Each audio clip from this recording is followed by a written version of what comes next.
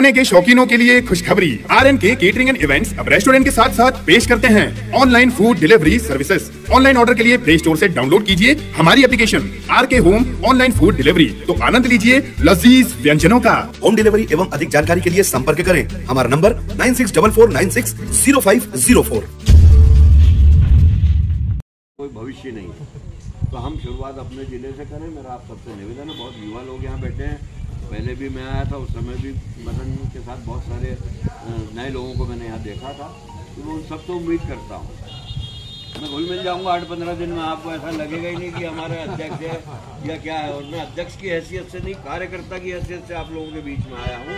एक बड़ी ज़िम्मेदारी मेरे को कमलनाथ जी ने दी है। तो उसको पूरा करना है आप लोगों के सहयोग से। और निश्चित तौर से मैं मानता हूँ, किसी से डरने चमकने की ज़रूरत नहीं है आपको ये खूब दाव पेश करेंगे, डराएँगे, धमकाएँगे, लेकिन इस बार जो है, मध्य प्रदेश में कांग्रेस की सरकार बनना तय हो गई है। हमारी प्राथमिकता ये रहे कि हम भी उसका पार्ट बने, अंग बने। इस बार की विधानसभा में हमारा प्रत्याशी वहाँ बैठे। ऐसी व्यवस्था हम सबको मिलजुल के करना है। अभी मैं वो वोटर लिस्ट बुलाता हूँ और आप लोगों को जो भी मंडलम सेक्टर के लोग आए हैं उनको उपलब्ध करा देता हूँ हमारे ब्लॉक अध्यक्ष दोनों के माध्यम से।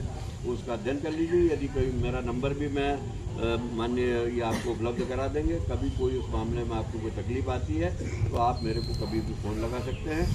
गाड़ी में मेरे बुलवा लो बोला बोल किसी को भेज दो। भैया गाड़ी में वो दो सामान रखे।